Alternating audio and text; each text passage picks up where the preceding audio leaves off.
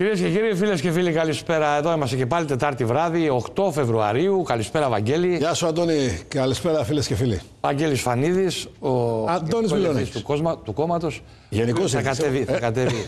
θα είναι και υποψήφιος στο νότιο τμήμα ε, του βόρειου, τομέα, του βορείου τομέα. Δεν είναι; Όχι, του βορείου ε, τομέα. της Β' Αθηνών. Της Β' Αθηνών, στο νότιο. Νότιο Στο νότιο. τομέα Β3 της Β. Εκεί το νότιο. Πάλε ποτέ. Έχετε, έχετε πολύ κόσμο, ρε παιδί μου. Πολύ, πολύ, ε, πο- ε, παίρνουν μεγάλη- και δύο άδρε παραπάνω. Ε, Η μεγαλύτερη παραπάνω. περιφέρεια είναι. Μία έδρα, εκλογική, μία έδρα είναι. μου φαίνεται. 650.000 εγγεγραμμένοι, Αντώνη. Ναι, έχει πολύ κόσμο. 650.000 είναι τεράστια. Από γλυφάδα Η ξεκινάει. Ανατολική Αττική σε πληροφορώ. Καλά, εσύ Και- γεωγραφικά εσύ. Εκεί γεωγραφικά. Ναι. Χάος. Όχι, όχι. Ε, ε, χάος, ναι, γεωγραφικά. Αλλά πολλοί κόσμος έχει φύγει η Ευαγγέλια από την Αθήνα και κατευθύνεται στην Ανατολική Αττική, η οποία ε, σε πληροφορώ ότι είναι υπέροχη. Δηλαδή, εάν είχε προσεχθεί λίγο και τώρα με τις παρεμβάσεις που κάναμε, νομίζω ότι συμβάλαμε ούτως ώστε να έχει μια καλύτερη ε, τοποθέτηση σε πολλά πολλά πράγματα τα οποία είχαν να γίνουν χρόνια. Βέβαια είναι το πρόβλημα α, της ασφάλειας, μεγάλο πρόβλημα. Την περιοχή σου την ξέρω πάντως. Μεγάλο πρόβλημα. Γιατί ήμουν πολλά χρόνια αρχηγός στις κατασκηνές του Αγίου Ανδρέα. Α, εκεί, ναι, ναι, ναι. Είναι στην περιοχή σου. Καλά, η Ανατολική Αττική είναι πάρα πολύ μεγάλη περιφέρεια. Εκεί Θέλουμε Αγίου Ανδρέας, Δύο ούτε- έδρες, δύο έδρες επιπλέον βγάζει τώρα να ξέρεις. Ε, λόγω της απογραφή, το είπες. Η καινούργια απογραφή βγάζει δύο έδρες επιπλέον. Ο κόσμος φεύγει από το, από το κέντρο. Δεν αντέχει πλέον το τσιμέντο. Πάει, είναι πιο ανθρώπινα εκεί πέρα. Ε, κοντά στη θάλασσας σε πάρα πολλές περιοχές, ε, πανέμορφες περιοχές. Θέλει όμως προσοχή. Θέλει, θέλει νοσοκομείο. Το νοσοκομείο πρέπει να το κάνουμε οπωσδήποτε.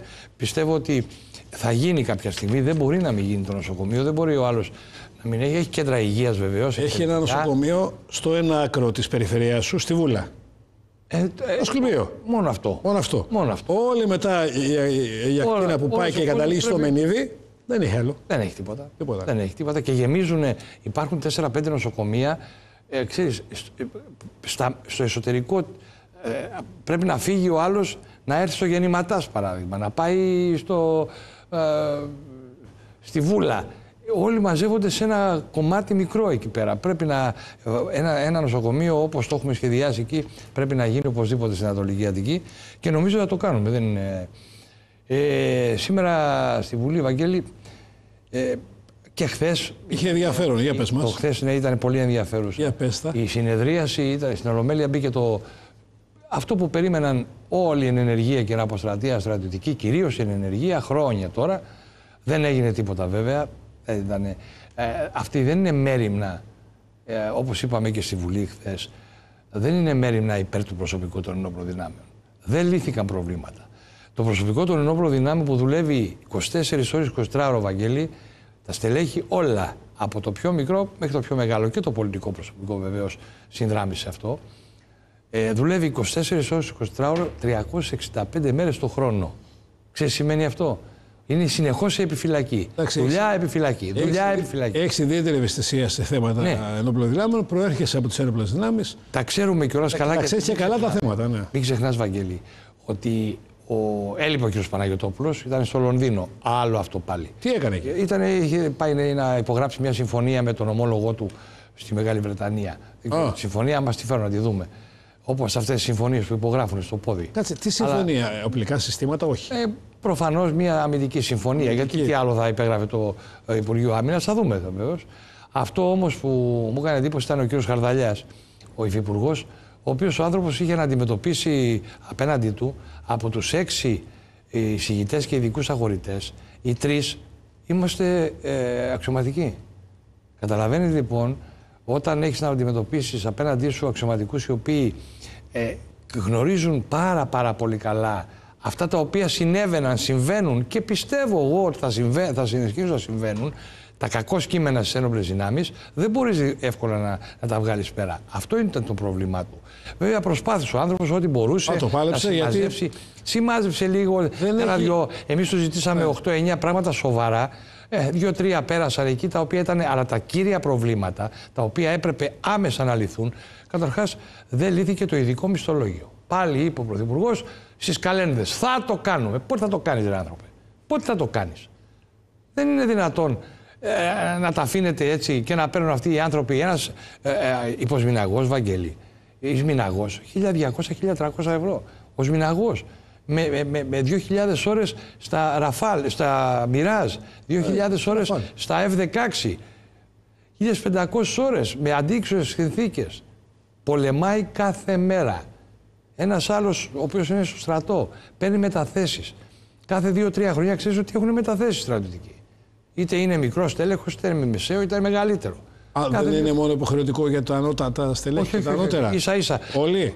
Ο, οι ανώτατοι βαθμοί έχουν κάθε χρόνο μεταθέσει. Ε, ναι. Μπορεί να είσαι διοικητής στο Δέλτα Σώμα, παράδειγμα, σου λέω εγώ, τον ένα χρόνο και τον άλλο χρόνο να κατέβεις στρατιά στη Λάρισα. Αυτά όλα δεν καταλαβαίνει πολύ εύκολα ο κόσμος αν δεν τα ζήσει. Δηλαδή, ο, ο, ο επιλοχίας ή ο αρχιλοχία ή ο λοχία παράδειγμα, που παίρνουν 800 και 900 ευρώ. Τόσο παίρνουν. Καλείται να πάρει την οικογένειά του.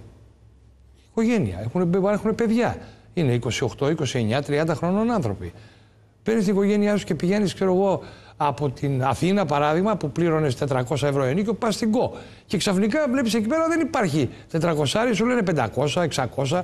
Ρε παιδιά, δεν μπορώ να τα πληρώσω; 800 περνώ, δεν με νοιάζει. Πού είναι η μέρημνα; Ξέρεις, παλιά είχαμε το στεγαστικό επίδομα. Αυτό θα σου λέγα. Και είχατε και εστίες που, μένατε. Και εστίες. Αυτοί οι οποίοι δεν είχαν σπίτι στην περιοχή την ναι. οποία πήγαιναν ε, και δεν υπήρχαν σώα.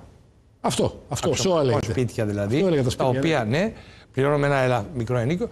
Τα υπόλοιπα στελέχη όλα παίρνανε επίδομα ενοικίου. Τους κάναμε μία πρόταση σαν Καταργήθηκε αυτό. Καταργήθηκε. Τους κάναμε μία πρόταση σαν ελληνική λύση. Τρια... Για, όσοι δεν έχουν, για όσους δεν έχουν ε, σπίτι εκεί που πηγαίνουν μετά, θες 350 ευρώ. 350 ευρώ. 500 κάνει να βάζεις και αυτός 150-200 από την τσέπη του. Αλλά τουλάχιστον δεν μπορείς, γιατί κάθε δύο χρόνια, εσύ άμα μείνεις σε ένα ε, διαμέρισμα, Βαγγέλη, 10, 15, 20 χρόνια, ε, ε πλήρωνες παράδειγμα πριν 10 χρόνια ε, 400 ευρώ, 300 ευρώ, δεν θα το κάνει τώρα 600. Όμως, αν έπαιρνες μετάθεση και πήγαινες σε ένα νησί, σε μια περιοχή, στη Θεσσαλονίκη παράδειγμα, και δεν έβρισκες σπίτι, και σου έλεγαν 600, τα 400 που πληρώνεις, εκείνο να 600. Μέσα σε μια μέρα. Με κατάλαβες.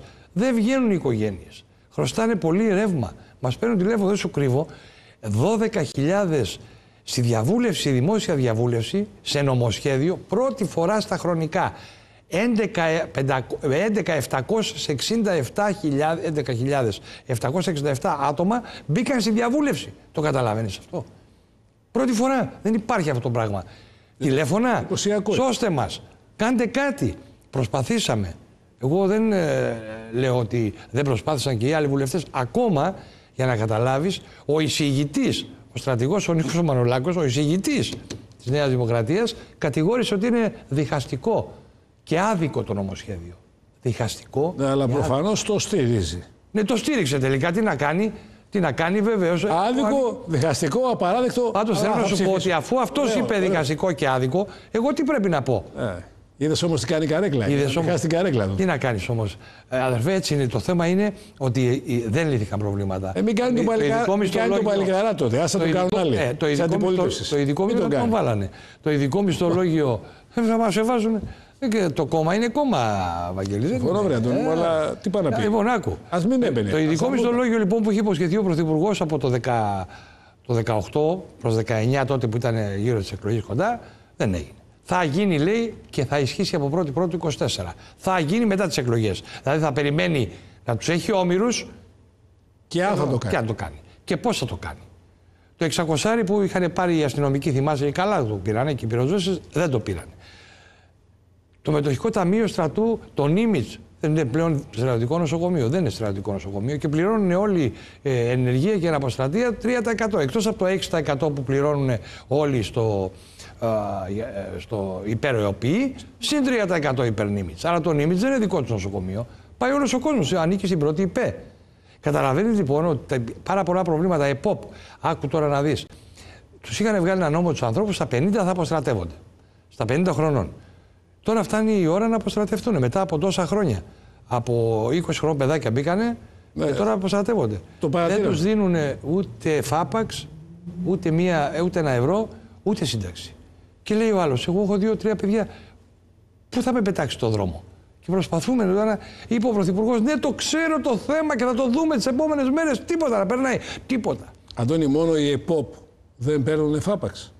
Ναι, δεν παίρνουν, γιατί ήταν ο νόμος το οποίο είχαν ψηφίσει κατά περιόδους. Ναι. Αυτά τα έχουν ψηφίσει Πασόκ, Νέα Δημοκρατία, ΣΥΡΙΖΑ. Για να εξηγούμαστε. Αλλά τώρα πρέπει να βρούμε μια λύση. Και τους λέμε, ρε παιδιά, κρατήστε τους, διότι δεν είναι δυνατόν να τους αφήσουν να φύγουν έτσι και να μην πάρουν σύνταξη τουλάχιστον, να πάνε σε ηλικία συνταξιοδότησης. Στα 50 χρονών δεν, δεν παίρνει σύνταξη, Βαγγέλη. Κατάλαβες. Αυτό είναι το πρόβλημα, το τεράστια προβλήματα. Η ΕΜ το ίδιο, άλλες κατηγορίες το ίδιο. Δηλαδή, πράγματα τα οποία τελικά ελάχιστα ήταν αυτά τα οποία διορθώθηκαν και αυτά μισά. Αυτό έχω να πω. Η πολιτοφυλακή δεν έγινε. Η εθνοφυλακή θα γίνει, λέει, οργανωμένη. Θα μπουν και οι γυναίκες στην εθνοφυλακή. Ε, υπάρχουν προβλήματα πάρα πολλά. Τέλος πάντων, χθες ήταν αυτό. Ε, σήμερα είχαμε ένα άλλο νομοσχέδιο στο Υπουργείο Ανάπτυξης. Μπήκε και η τροπολογία για την απαγόρευση και ε, του κόμματος ε, Έλληνες του Ηλία του Καστιδιάρη. Ε, καθαρά πράγματα, Βαγγέλη. Η δημοκρατία είναι εδρεωμένη. Δεν πρέπει να φοβάται κανείς ότι θα καταληθεί η δημοκρατία ή το δημοκρατικό πολίτευμα. Δεν καταργούνται αυτά τα πράγματα. Από κανέναν. Από καμιά δύναμη. Δεν είναι δυνατόν να φοβάσαι και να βγάζεις τελευταία στιγμή να προσπαθείς να κάνεις ό,τι είναι δυνατόν, ό,τι είναι δυνατόν για να μπερδέψεις τον κόσμο. Και ξέρεις κάτι άλλο. Στις δημοκρατίες πρέπει να το έχουμε σαν αρχή όλοι αυτό, Βαγγέλη. Νομίζω ότι εμείς το έχουμε συζητήσει εδώ πέρα στην ελληνική λύση και το έχουμε, δηλαδή, το έχουμε σαν αρχή μας. Ο κυρίαρχος λαός αποφασίζει. Είδες καμιά φορά που μου λες, Ρε Αντώνη, γιατί φωνάζεις να σηκωθεί ο κόσμος να πάει να ψηφίσει; Τα βλέπεις. Να τα, Βαγγέλη.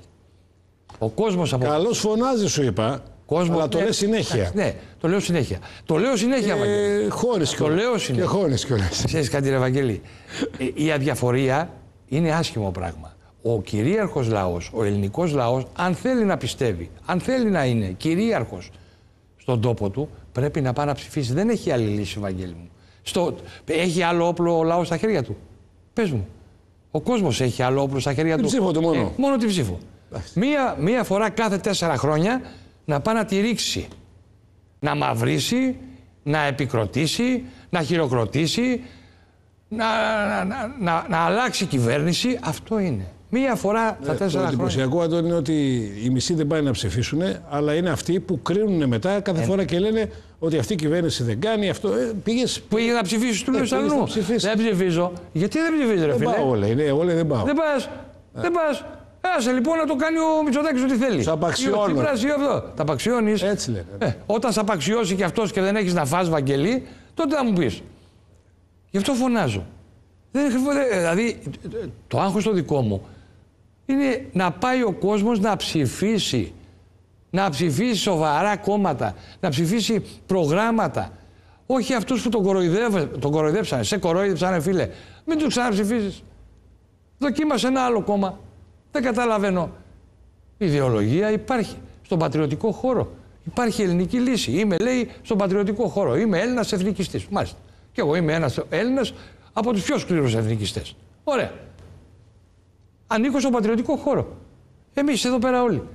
Εμείς ανήκουμε στον πατριωτικό χώρο. Ελάτε στον πατριωτικό χώρο να ενωθούμε, να κάνουμε μια πολύ μεγάλη δύναμη, να ξεπεράσουμε το φράγμα του 10% για να φύγει να κάποια στιγμή να κυβερνήσει και η, η λαϊκή πατριωτική δεξιά. Πώς θα το κάνουμε δηλαδή; Να το ένα, να το άλλο, να το άλλο, και όλο δικαιολογίες. Γιατί δεν κάνεις αυτό και γιατί δεν κάνετε εκείνο και γιατί δεν. Όχι, ρε παιδιά, αυτή. Μπορούμε να το συνονοηθούμε. Λοιπόν, αυτή είναι, Ευαγγελή, η κατάσταση. Δεν είναι η δημοκρατία ούτε απειλείται, ούτε εκβιάζεται, ούτε τίποτα, ούτε φοβάται. Δεν πρέπει να γίνεται αυτό το πράγμα. Άρα λοιπόν, α, και ο λαός είναι αυτός ο κυρίαρχος λαός, αυτή η δύναμη, η μεγάλη, που ανεβοκατεβάζει κυβερνήσεις, βάζει στη Βουλή κόμματα. Μόνο αυτή έχει το δικαίωμα να το πει αυτό. Αυτή είναι η άποψή μας.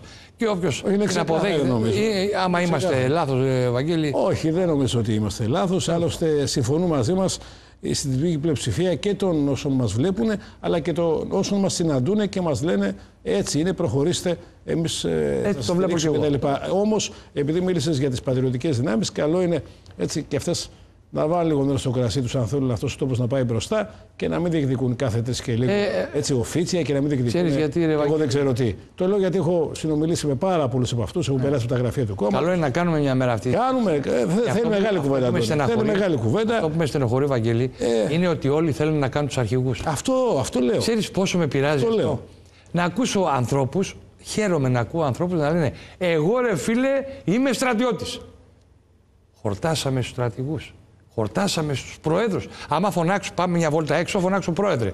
Θα γυρίσει μισή. Η μισή θα γυρίσω και παραπάνω. Τι μισή; Παραπάνω. 8 στους 10 θα Παπ, πού είσαι; Τι πρόεδρος, εσύ πρόεδρος εδώ, πρόεδρος εκεί. Άντε ρε με τα πρόεδρε ηλικία. Αγωνιστείτε. Αγώνεστε. Αγωνίστηκαν οι προγονεί μα για να γίνουμε εμείς άνθρωποι σήμερα. Εδώ είναι το θέμα. Μη μας ακούτε. Δεν πειράζει. Δεν πειράζει. Μετά κόβω το χέρι μου λέει γιατί ψήφισα. Και το κεφάλι σου κόψε μετά. Τα έχουμε ξαναπεί για τις κοψοχέριδες. Ε, μα τώρα. Έτσι να μου κοπεί το χέρι, αλλά πάει και ψηφίζει μετά. Χιόνια λοιπόν αυτό το, αυτές τις ημέρες πάλι είχαμε λίγο, κρύο, λίγο χιόνι. Ρε, μισό λεπτό. Μισό λεπτό έβαγε. Μισό λεπτό. Φεβρουάριος είναι. Δεν έχει βρέξει. Δεν έχει χιονίσει. Και ξαφνικά ρίχνει λίγο χιόνι. Μια εβδομάδα πριν τρομοκρατία. Δύο μέρες πριν τρομοκρατία. Χιόνι. Προσέξτε. Αλυσίδες. Ε, Όποιος δεν έχει αλυσίδα, σταμάταγε ο τροχονόμος τον άλλον στο δρόμο, έχεις αλυσίδα; Ε, λέει, τι όχι, την έχω σπίτι, να την έχεις μαζί γιατί από τον Οκτώβριο μέχρι τον ε, Απρίλιο, Οκτώβριο μέχρι τον Απρίλιο, όποιος δεν έχει αλυσίδες, πρόστιμο 40 ευρώ. Ω, μπρρρ, όλοι τρέχανε στα. Τι 40, 80. Άκου, 40 ευρώ και διπλασιασμός του 40 άρικου, του 40 και το 80 άρικο είναι όταν χιονίζει και έχει βγάλει ανακοίνωση το 112 ότι Έτσι. έχει καιρικές συνθήκες δύσκολες, ότι πρέπει να έχεις μαζί σου αλυσίδα να τι φοράς. Και να τι φοράς. Λοιπόν, τότε γίνεται το 80. Κανονικά είναι 40. Λοιπόν, τρέξιμο ο κόσμος, τρομοκρατήθηκε. Άρχισε λοιπόν και πήγαινε στα μαγαζιά. Το τι εσχροκέρδεια υπάρχει, δεν υπάρχει αυτό το πράγμα, δεν, δεν, το, ε, δεν το συλλαμβάνει ο νους ενός ανθρώπου. Τι τα είδα, τα είδα στην Καλυθέα. Το είναι εκεί που κάνανε ουρές ο κόσμος. Κάτω πατήσια, άλλος την, την ναι. έδινε την ίδια λυσίδα 40 ευρώ, άλλος 50, 50. άλλος 60. Έτσι. Τις, ε, κου, εκείνο εκεί τα κουβέρτες, πώς λέγανε αυτές τις βλακίες. Χιο, χιονοκουβέρτες. Χιονο... Μην την πω. ναι, 78 ευρώ, 80 ευρώ. Τι λέτε, ρε; Είναι, και, είναι και μπαίνω μέσα να διαβάσω. Χρήσεις, έτσι, αυτές. Ναι, ναι, μπαίνω μέσα να διαβάσω. Δυόμιση φορές πάνω, δυο φορές πάνω. Τι γίνεται, τι κλέφτες είμαστε; Τι αρχικλεφταράδες ε, είμαστε εδώ πέρα; Στοκ. Είχαν στοκ εδώ και 5 χρόνια αλυσίδες, τις ξεπουλήσαν τώρα. Τις είχαν πάρει 5-10 ευρώ, τις δώσανε 60. Μιλάμε απίστευτο πράγμα. Και δεν σου δίνανε και απόδειξη. Ναι. Α, μιλάμε για απίστευτα πράγματα. Εδώ είναι κύριε Γεωργιάδη, η σκροκέρδια. Πού είναι η έλεγχη, σιγά μην κάνουμε έλεγχο. Α τον ελληνικό λαό, τον τρομοκρατούμε, βγαίνει έξω, έψαχνα αλυσίδες. Μάλιστα, πάει και αυτό. Πού γίνονται έλεγχοι, ε, Το, το ωραίο ποιο ήταν, Ευαγγέλιο. Πουθενά, ούτε στα καύσιμα, ούτε Δευτέρα πρωί σηκώνομαι σαν άνθρωπος ηλιόλους τη μέρα, Δευτέρα πρωί, προχθές. Ηλιόλους τη μέρα να πάω στη Βουλή. Είχαμε νομοσχέδιο. Ε, παίρνω το αυτοκίνητο, πάω στη Βουλή, πριν φτάσω ε, αρχές Ακαδημίας, με παίρνω τηλέφωνο, λέει κλειστή Βουλή. Γιατί είναι παιδιά κλειστή Βουλή. Είδα μια φωτογραφία, μια φωτογραφία σου. Λόγω χιονόπτωση. Ρε, τι χιονόπτωσης είναι εδώ, έχω ήλιο. Έχουν στεγνώσει οι δρόμοι. Τρελάθηκα, τρελάθηκα. Λέω αν είναι δυνατόν. Αυτή είναι η κατάσταση. Πήγες πάντως εσύ, μια χαρά. Εσύ έφτασες μια χαρά. Έφτασα εκεί, πήγα ήπια καφέ, τι να κάνω. Σε είδα, σε Λοιπόν, ναι, τι να κάνω άλλο. Έχω τρελαθεί. Δεν γίνεται αυτό το πράγμα, ρε παιδί μου. Ε, τι, δεν καταλαβαίνω αυτό. Αντωνί, εδώ με ένα, με μια, με ένα απλό πρωτοβρόχι, ψηλή βροχή και α, οι δρόμοι πλημμυρίζουν. Τώρα με το λίγο χιόνι λογικό ήταν να παραλύσει όλη η Αθήνα. Αλλά και εσύ που πήγες, άνθρωπε. Πήγες στα μάξι να πας τώρα και στη Βουλή, αφού ευκαιρία βρήκανε. Με, με λίγο χιονάκι. Με λίγο χιονάκι, ναι. Με λίγο χιονάκι. Ναι. Κλείνει η Αθήνα. Εντάξει, Κλείνει τα πλάνα εδώ δεν δείχνουν λίγο. Έλα, εδώ πέρα είναι, είναι από, το, έτσι. είναι από βόρεια προάστια, τα οποία είναι. Αν πας ο Διόνυσο ψάχνω ψηλά. Ε, λογικό είναι, θα έχει λίγο χιόνι. Εντάξει. δεν είναι και του θανατά. Μην τρελαθούμε τώρα τελείως. Κλείσαν οι, νυφο, οι βρεφονιπιακοί σταθμοί. Πώς θα πάνε οι γονείς στη σχολιά, στη δουλειά τους; Οι, οι γονείς πώς θα πάνε στη δουλειά, αφού έκλεισε ο, ο βρεφονιπιακός σταθμός. Πώς θα πάνε τα παιδιά στο βρεφονιπιακό; Δεν μπορούν να πάνε, να τα έχουν σπίτι. Οι γονείς δεν μπορούν να πάνε στη δουλειά, πάει το μεροκάμα του. Άλλα ανοίξανε, άλλα δεν ανοίξανε. Τα εμπορικά κλειστά λέει, τα Τα σχολεία, σχολεία κλειστά. όλα. Τα σχολεία Όλα. ακόμα. Δεν, κλειστά είναι πάντων. ακόμα. Ευτυχώς που δεν είμαστε στη Γερμανία, γιατί αν είμαστε στη Γερμανία και στη, με τις καιρικές συνθήκες και της Δανίας και της Σουηδίας, νομίζω ότι θα ήταν κλειστή η Ελλάδα λόγω χιονόπτωση. Τελείως κλειστή, δεν υπάρχει αυτό το πράγμα. Όλο τον χρόνο λες, ε. Απ' την άλλη μεριά, δεν μιλάμε για τα δάνεια τώρα, πρέπει να πούμε για τα δάνεια, γιατί μας παίρνουν πάρα πολλά τηλέφωνα. Αυτό το οποίο έχει συμβεί, η, η αύξηση των επιτοκίων α, και έρχεται καινούρια. Αύξηση των επιτοκίων. Από μέσα σε έξι μήνες, ελάτε να δείτε, μία κάρτα έχω, σας έχω να δείτε πόσο έχει ανέβει η μηνιαία δόση ενός δανείου. Προσέξτε, ένα δάνειο το οποίο είναι εξοφλάται σε ε, 20 χρόνια. Έτσι, η δόση του Ιουνίου του 22 ήταν 500, πόσο ήταν, για να φέρετε το 560, 560 560 ευρώ. Ναι. Τέλη Κοιτάξτε. Ιανουαρίου του 23 πήγε στα 667.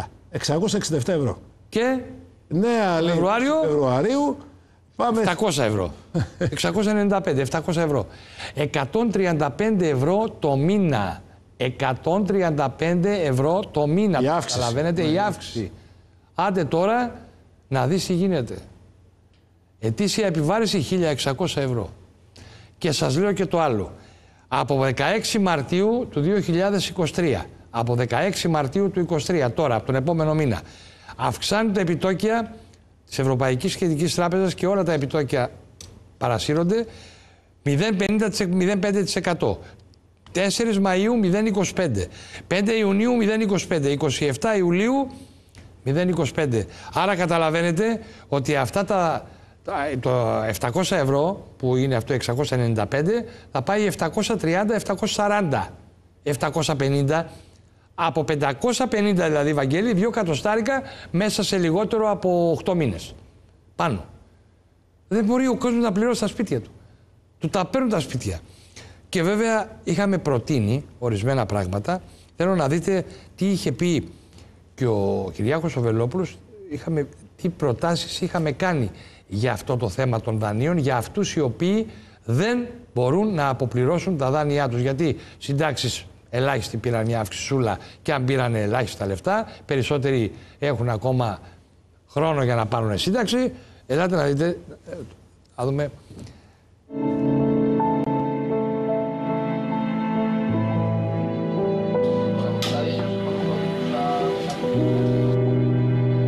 700.000 Έλληνες κινδυνεύουν να χάσουν τα σπίτια τους.